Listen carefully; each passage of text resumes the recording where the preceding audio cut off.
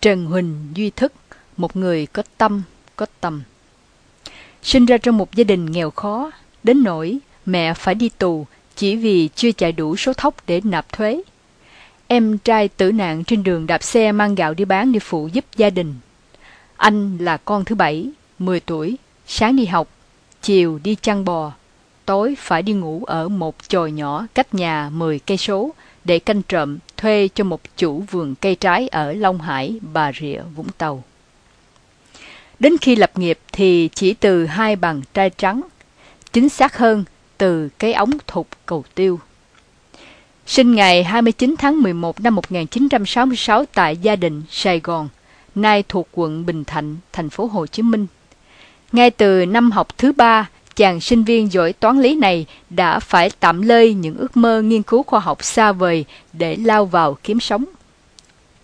Anh mày mò tự chế tác ra cái ống thục cầu tiêu để tự đem đi bán rong khắp hang cùng ngõ hẻm. Thế mà rồi chỉ ít năm sau, ở cái tuổi ngoài 30, chính anh chàng đó đã bay sang Mỹ mua lại một công ty điện thoại Internet đem về lập công ty cổ phần công nghệ thông tin EIS Incorporations. Với lời tuyên bố tự trao sứ mệnh, tiến công mạnh mẽ vào thị trường công nghệ thông tin quốc tế, chuyển tri thức Việt Nam thành những giá trị cao trong nền kinh tế tri thức thế giới. Như thần thông biến hóa, cái anh chàng ai mua ống thục cầu tiêu ơi, bỗng sử dụng được tiếng Anh lưu loát như Việt Kiều khi đứng ngang mặt các doanh nhân tầm cỡ thế giới. Người đó chính là anh Trần Huỳnh Duy Thức. Cuối năm 1992, nhờ chút ít vốn liếng thu được từ cái doanh nghiệp ống cục thục cầu tiêu, anh Thức mới mở được một cửa hàng dịch vụ đánh máy thuê, photocopy và bán đĩa mềm, để rồi từ đấy ước mơ khoa học của chàng kỹ sư công nghệ thông tin mới có dịp phục hồi. Chỉ sau vài tháng tiếp cận thị trường, Thức đã cập nhật được công nghệ rồi nhập linh kiện rời về ráp thủ công thành những bộ máy vi tính mang nhãn hiệu riêng của mình là EIS. Đến năm 1995, máy PC EIS của công ty trách nhiệm hữu hạn tinh học Duy Việt tên tiếng Anh là EIS Corporations, không chỉ chiếm phần lớn thị trường máy tính cá nhân lắp ráp cho hộ gia đình tại thành phố Hồ Chí Minh mà còn mở rộng mạnh mẽ ra cả Hà Nội.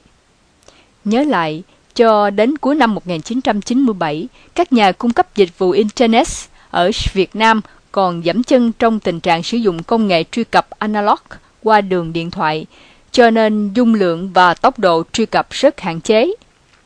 Công ty Duy Việt đã tiên phong đưa vào thị trường Việt Nam công nghệ truy cập digital, cho phép mở rộng nhanh, dung lượng lẫn tốc độ truy cập nhiều lần so với công nghệ analog.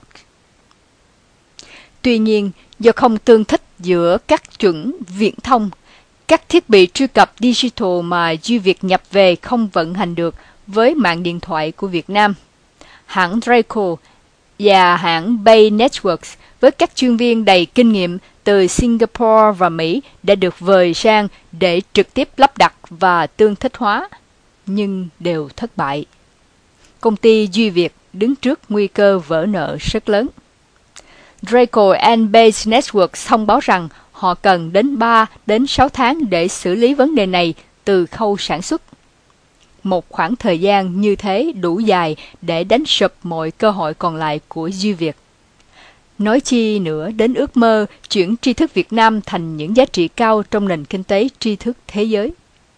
Không cam chịu, Thức đã cùng một số kỹ sư lúc đó chưa tốt nghiệp đại học mở lãnh đạo một nhóm nghiên cứu, đảm đương công việc của các chuyên gia Singapore và Mỹ. Ngày quên ăn, đêm quên ngủ, nhưng rồi công trình đã được hoàn thiện trong một thời gian ngắn hơn. Đến giữa năm 2002, đội ngũ nghiên cứu phát triển của Duy Việt đã có mặt ba nơi, San Jose, Mỹ, Sài Gòn, Việt Nam và Singapore để đảm bảo vận hành thiết bị do mình cung cấp. Cuối năm 2002, EIS Incorporations lập đồng thời hai công ty con cùng mang tên One Connections, tức một kết nối, tại Việt Nam và Singapore để áp dụng công nghệ này, được đặt tên là sáng tạo để đột phá cung cấp dịch vụ điện thoại Internet. tại Singapore, One Connections nhanh chóng nổi lên thành một nhà cung cấp dịch vụ viễn thông trên môi trường Internet toàn cầu và đã ký nhiều hợp đồng làm đại lý bán hàng địa phương với các hãng viễn thông ở Malaysia, Nga và Mỹ. Các hãng, các hãng thông tấn, truyền hình quốc tế và Singapore đưa tin rầm rộ sự kiện công nghệ Việt Nam xuất hiện cạnh tranh vững chãi trên thị trường toàn cầu. Kênh truyền hình Channel Asia lớn nhất Singapore phát lại 3 lần bản tin về One Connections trong vòng 24 giờ với thông điệp chính. One Connections từ Việt Nam thách thức các dịch vụ viễn thông truyền thống. Các tạp chí công nghệ nổi tiếng thế giới thì giật tích. Việt Nam ghi bàn, bước đột phá ngoạn mục trong cách sử dụng và mô hình kinh doanh điện thoại Internet từ Việt Nam. Với hàng trăm nhân viên và nhà khoa học các công ty Global EIS và công ty OCI đã lập được các giác đấu trên đất Mỹ và từng được báo chí của Đảng Cộng sản Việt Nam đánh giá là niềm tự hào của công nghệ thông tin Việt Nam. Kể về chiến công hiển hách trên, không thể không nhắc đến sự đóng góp của hai người bạn chí cốt của Duy Việt là luật sư Lê Công Định và kỹ sư Lê Thăng Long. Đặc biệt là Lê Thăng Long.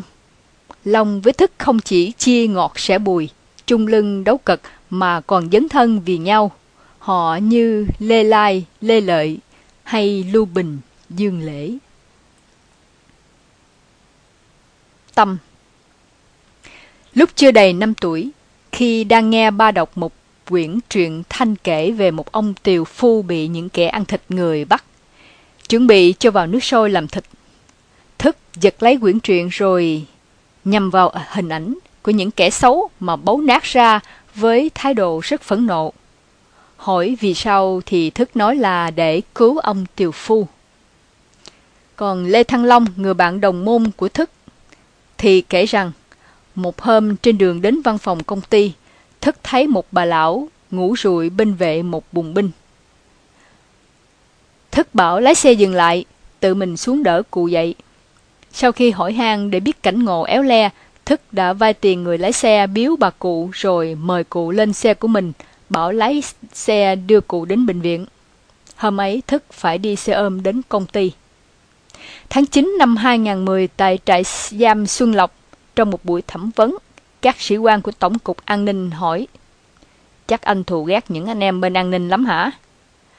Thức cười và đáp, Các anh chỉ là những người thừa hành, Phải cố gắng thực hiện những chủ trương sai lầm Còn tôi chỉ đấu tranh để thay đổi những đường lối đó, Để đất nước không rơi vào thảm họa Và phát triển tốt đẹp như tôi đã từng làm ở lĩnh vực viễn thông, Chứ chẳng bận tâm đến vấn đề cá nhân nào cả dễ mũi lòng trước cảnh khốn khó, thân ái với cả kẻ quấy nhiễu mình. Nhưng Trần Quỳnh Duy Thức rất quyết liệt với Cường Nguyên. Trước phiên tòa dẫn đến bản án khắc nghiệt, bất công, 16 năm tù giam, 5 năm quản chế, anh vẫn ngẩng cao đầu dõng dạc tuyên bố Tôi không lật đổ chính quyền gì cả. Tôi chỉ chống cường quyền và tôi sẽ còn chống nó đến khi nào còn thấy nó. Giao thừa năm canh dận 2010 trong lao tù, ta vẫn nghe như âm vang từ lòng ngược thức, dòng thơ sang sản của Nguyễn Trãi, Nguyễn Công Trứ. Canh dần, canh dần khai đại cuộc, cứu chúng tầm chân như, khí như tùng bách mộc, vương thẳng giữa trời cao, chống cường quyền hung bạo, đối mặt phá cuồng phong, quyết không làm nô lệ, xứng Nam quốc Lạc Hồng. Khi nói về tầm, thì đầu năm 2006, sau gần 2 năm nghiên cứu nghiêm túc, nhóm nghiên cứu chấn của Duy Thức đã đưa ra một bản đánh giá toàn diện các vấn đề kinh tế, chính trị, xã hội của đất nước. Tóm tắt của bản đánh giá này được viết thành bài Khủng hoảng kinh tế, nguy cơ và cơ hội. Ngày 21 tháng 3 năm 2006, Thức đã gửi một bức thư tâm huyết kèm bài viết trên cho ông Nguyễn Minh Triết, khi đó là bí thư thành ủy thành phố Hồ Chí Minh. Dù không được đối hoài tới, ngày 14 tháng 4 năm 2007, Thức vẫn kiên trì gửi liên tiếp hai lá thư đến Tổng Bí thư Nông Đức Mạnh và Thủ tướng Nguyễn Tấn Dũng. Bản đánh giá nêu lên những luận cứ khoa học và cảnh báo nghiêm túc về nguy cơ khủng hoảng kinh tế sẽ nổ ra sau chừng 2 năm nữa, tức vào khoảng 2008. Thức cho rằng nếu không thực thi một số giải pháp khoa học cấp thiết như được nêu để cải cách, ngăn chặn khủng hoảng, phát triển đất nước, thì cuộc khủng hoảng còn kéo dài trên 5 năm nữa và dẫn theo những khủng hoảng xã hội, chính trị trầm trọng, làm cuộc sống của nhân dân khó khăn và đất nước bị lệ thuộc. Hiện thực đang chứng minh lời tiên đoán của Thức. Thời kỳ cuối năm 2007, thị trường chứng khoán Việt Nam căng phòng như bong bóng. Không chỉ các công chức, doanh nhân ào ào lao vào các sàn chứng khoán, mà không ít bà nội trợ, không ít nông dân lam lũ cũng dốc hết những đồng tiền tiết kiệm ít ỏi của mình rót vào các phiên dịch chứng khoán để cầu mai. Sự xuất hiện bài viết Việt Nam đồng đang ở đâu và sẽ về đâu của thức dưới bút danh Trần Đông Chấn đã như liều thuốc giải sai cứu vớt nhiều người thoát cơn khánh kiệt. Bài Đồng đô la ngoại sẽ đi về đâu với hàng loạt số liệu cụ thể về tỷ trọng của GDP theo các thành phần kinh tế và tỷ trọng đầu tư từ các nguồn khác nhau đã chỉ ra rằng nền kinh tế Việt Nam đang ngày càng lệ thuộc vào đầu tư nước ngoài một cách thụ động. Bài viết cũng đồng thời chỉ ra tình trạng nhập siêu do hàng hóa trong nước không đáp ứng được nhu cầu nội địa sẽ là nguyên nhân gây lạm phát ngày càng cao của kinh tế Việt Nam. Trần Đông Chấn cực lực phản đối chính sách kiềm chế lạm phát bằng cách thắt chặt tiền tệ tăng lãi suất ngân hàng để giảm lượng tiền đang lưu hành của chính phủ vì cho rằng biện pháp này ảnh hưởng trực tiếp tới các doanh nghiệp trong nước, gây ra sự phá sản của các doanh nghiệp, dẫn đến thất nghiệp của người dân cùng hàng loạt các hậu quả tai hại khác mà chính phủ không thể kiểm soát được. Trong khi rất không hài lòng với những kẻ ngạo mạn vô lối, dám thoá mạ không chỉ giới trí thức mà cả dân tộc Việt Nam, thì tôi thật hỉ hả gặp được sự biểu lộ niềm tự hào, tự tôn dân tộc thật sáng suốt của Trần Quỳnh Duy Thức. Việt Nam có thế mạnh về địa thế, giá trị của nguồn nhân lực dồi dào, siêng năng, có văn hóa và nhanh thích ghi với cái mới. Việt Nam là đất nước thanh bình và cởi mở. Những điều này vẫn dẫn hướng đến một tầm nhìn lớn về chiến lược giao thư, giao thoa văn hóa và giao lưu kinh tế giữa Đông và Tây. Đây thật sự là lợi thế về đặc tính của con người Việt Nam trong việc hấp thụ rồi tạo nên những thành tựu mới về văn hóa và kinh tế. Việt Nam là nước có nền văn hóa và tiếng nói phương Đông nhưng lại có chữ viết theo kiểu phương Tây. Đó chính là những di sản do lịch sử tạo lợi thế cho dân tộc ta trong một môi trường đa phương toàn cầu của hệ thống quốc tế mới đang hiện hữu. Không biết có viễn vông quá không, nhưng nếu niềm mơ ước sau đây của thức có triển vọng hiện thực thì hãy ráng sống để được gấp sức cho đến hơi thở cuối cùng. Nếu dân tộc Lạc Hồng ta tiên phong và thành công theo một tiến trình như vậy, tiến trình bắt đầu từ xây dựng sự tự tin và có ý thức của người dân sử dụng tối đa quyền làm chủ của mình như đã phân tích từ đầu, thì sẽ truyền cảm hứng cho người dân Trung Quốc và tạo niềm tin cho giới cầm quyền ở đó dẫn đến sự thay đổi tích cực. Lúc đó, Trung Quốc sẽ trở thành một nền dân chủ lớn nhất thế giới là một nền dân chủ thực chất nên cũng sẽ là một trung tâm thịnh vượng nhất thế giới và cũng tất yếu tạo ra một nền văn minh phương Đông hiện đại mới, tạo nên những nguyên tắc, chuẩn tắc chung mới cho thế giới toàn cầu với sự ảnh hưởng cân bằng giữa Đông và Tây. Một cuốn sách, một con đường, một tấm gương. Đầu năm 2008, nhóm nghiên cứu chấn quyết định viết quyển sách con đường Việt Nam do Trần Huỳnh Duy Thức chủ biên cùng phối hợp với Lê Công Định, Lê Thăng Long và dự định mời thêm nhiều nhân sĩ trí thức cùng hợp tác. Cuốn sách đặt mục tiêu giải đáp hàng loạt những câu hỏi lớn. Làm sao để Việt Nam phát triển bền vững, nhanh chóng thành một nước dân chủ thịnh vượng? Làm sao lý tưởng, làm theo năng lực, hưởng theo nhu cầu, trở thành thực tế? Làm sao để Việt Nam không bị biến thành một dạng nô lệ kiểu mới trong thời đại thời đại toàn cầu hóa. Vì sao Việt Nam đã đổi mới và có tốc độ tăng trưởng kinh tế cao liên tục trong hơn 23 năm qua nhưng vẫn còn là nước nghèo? Vì sao rất nhiều nước đã có thể, đã có thể chế chính trị đa đảng hơn nửa thế kỷ rồi mà vẫn dậm chân ở mức thu nhập trung bình trong hơn 20 năm qua. Thậm chí nhiều nước vẫn còn nghèo đói và đầy rẫy các vấn nạn tham nhũng cường quyền. Tại sao Trung Quốc chỉ có một đảng cầm quyền lại có thể tạo ra sự phát triển nhanh chóng liên tục hơn 30 năm qua? Nhưng phải đến hơn 40 năm nữa. Năm 2050 mới chỉ tới được giai đoạn quá độ lên chủ nghĩa xã hội. Liệu nước này có tránh được cái bẫy thu nhập trung bình nhiều nước đã bị mắc vào để tiếp tục phát triển đạt theo như sự dân chủ và thịnh vượng? Hay sẽ sụp đổ bất ngờ như Liên Xô trong giai đoạn đầu phát triển? Đã có sự tăng trưởng nhanh chóng và những thành tựu lớn hơn nhiều những gì Trung Quốc làm được 30 năm qua.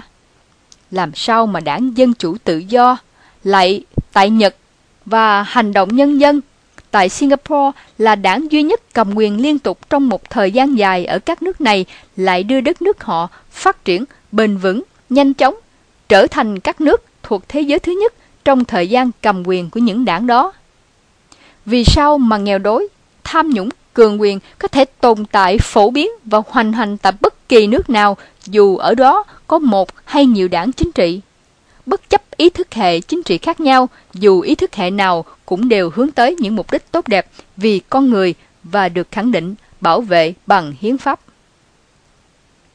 Một nền dân chủ được hình thành chỉ bởi ý muốn chủ quan của con người hay tồn tại những quy luật khách quan, chi phối sự vận hành của xã hội loài người trong quá trình vận động của nó để đạt đến một nền dân chủ.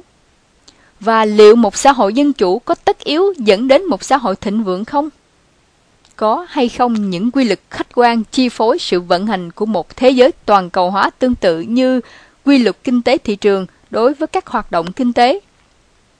Những đặc tính căn bản của toàn cầu hóa là gì? Và có những đặc tính nào từ bản sắc và văn hóa của dân tộc Việt Nam phát huy được thế mạnh do phù hợp với đặc tính của toàn cầu hóa này hay không? Liệu sự hình thành và phát triển của các hình thái xã hội loài người từ lúc nguyên thủy đến phong kiến tư bản là tất yếu theo một quy luật khách quan nào đó, bất chấp ý muốn chủ quan của con người, hay các hình thái này chỉ là sản phẩm của nhân sinh quan. Mức độ tồn tại và ảnh hưởng của các tính chất đối ngược nhau trong một xã hội, như lạc hậu và văn minh, cường quyền và dân chủ, tham nhũng và công bằng, có tuân theo những quy luật khách quan nào đó mà con người cần hiểu biết nếu muốn thiết lập những cơ chế hiệu quả để giảm thiểu cái xấu và phát huy cái tốt không? Có những chỉ dấu nào của một xã hội mà có thể đo lường được dễ dàng nhưng lại cho thấy và dự báo tốt mức độ ổn định, bất ổn, phát triển bền vững hay khủng hoảng sụp đổ của xã hội đó không? Vì sao chủ nghĩa Marx bị mất tính hấp dẫn trong khi lý tưởng mà chủ nghĩa này hướng đến là rất cao đẹp. Và Marx lại là người đầu tiên dự báo chính xác được hình thái và bản chất của thế giới toàn cầu hóa ngày nay. Diễn biến hòa bình là gì và vì sao Liên Xô sụp đổ? Và đây là minh chứng cho sự sai lầm của chủ nghĩa Marx, hay đó là bài học quý giá để tránh sự giáo điều, duy ý chí, áp đặt quan điểm chủ quan của những người vận dụng chủ nghĩa Marx trở thành quy luật khách quan mà không hề đảm bảo tính logic biện chứng của chính Marx đưa ra. Vì sao khá nhiều nước liên tục thay đổi hiến pháp theo hướng tốt hơn nhưng vẫn bất ổn hoặc càng bất ổn, không phát triển được nữa? Những động lực gì sẽ dẫn đến sự thay đổi và phát triển xã hội một cách tốt đẹp và ngược lại? Làm sao để những động lực này thuần túy kinh tế có thể thúc đẩy nhanh chóng sự phát triển xã hội một cách cân bằng và công bằng. Đặt ra được hàng loạt câu hỏi tầm cỡ như vậy đã chứng tỏ một tầm tư duy thật lớn lao. Riêng dự kiến về một cuốn sách như thế đã là một giấc mơ vĩ đại. Tiếc rằng, vào ngày 24 tháng 5 năm 2009, người ta đã bắt Trần Huỳnh Duy Thức. Tiếp đó là Lê Thăng Long, ngày 4 thay tháng 6, rồi đến Lê Công Định, ngày 13 tháng 6 người ta đã phá tan những giấc mơ đẹp, những hoài bão lớn lao mà thánh thiện. Tôi may mắn được đọc bản thảo cuốn Con đường Việt Nam sắp phát hành trên mạng. Nói về cuốn sách dở dang trên, và về người chủ biên đang phải khắc khoải vật lộn với những ước muốn cao đẹp của mình trong tù và thấy không thể không phát biểu về nó. Bài viết này nhắm khẩn khoản khuyến nghị các nhà lãnh đạo, những người đang có quyền quyết định đến sinh mạng của Trần Huỳnh Duy Thức, hãy bớt chút thì giờ đọc cuốn sách này để hiểu đúng về Trần Huỳnh Duy Thức. Để xét lại quyết định xử trí sai lầm đối với một trong những hiền tài để cứu lấy nguyên khí quốc gia. Xin đồng bào hãy đọc để biết và cùng nhau lên tiếng đấu tranh giải thoát một ngôi sao của đất nước đang bị nhốt. Mong các nam nữ thanh niên hãy tìm đọc đặng sôi vào một tấm gương rất đáng noi theo để rèn luyện mình thành người có ích cho đất nước, cho nhân quần xã hội. Hà Nội ngày 6 tháng 4 năm 2013, Nguyễn Thanh Giang